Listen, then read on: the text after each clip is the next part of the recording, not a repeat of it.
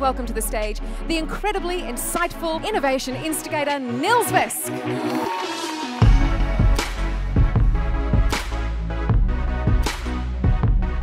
Welcome to the world of innovation. Now, innovation is such a crucial thing in business today. It's the key to being able to differentiate ourselves from the competition, not just by looking different or being new, but actually being better.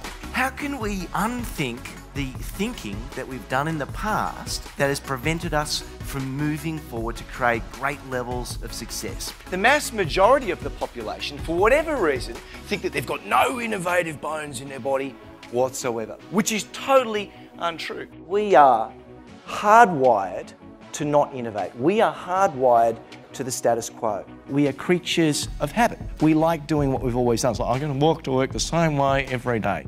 And that's exactly why we need a process to enable us to get beyond those negativity biases, beyond the professional biases, and beyond our own biases to make those things happen. And the tourists would say, I do not know where is the beaches, there's the buses everywhere. In each one of these cultures, we have a number of tribes. We have our groovers, our movers, our shakers. You know, a lot of people say, but emotion, there's no way that emotion has a role in business.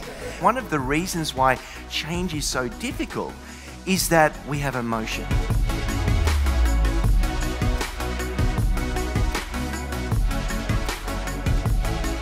The bottom line is that the way that we've been taught to think about innovation and every job we've ever had in our career has skewed us. These biases that create boundaries, silos and divisions that stop us from collaborating and stop us from actually innovating. There are four phases to innovation. Investigation, ideation, iteration and commercialisation. So the investigation phase is all about looking for insights around customer and consumer behaviour. Ideation is about generating lots of ideas, functional ideas, ideas that create insatiable desire.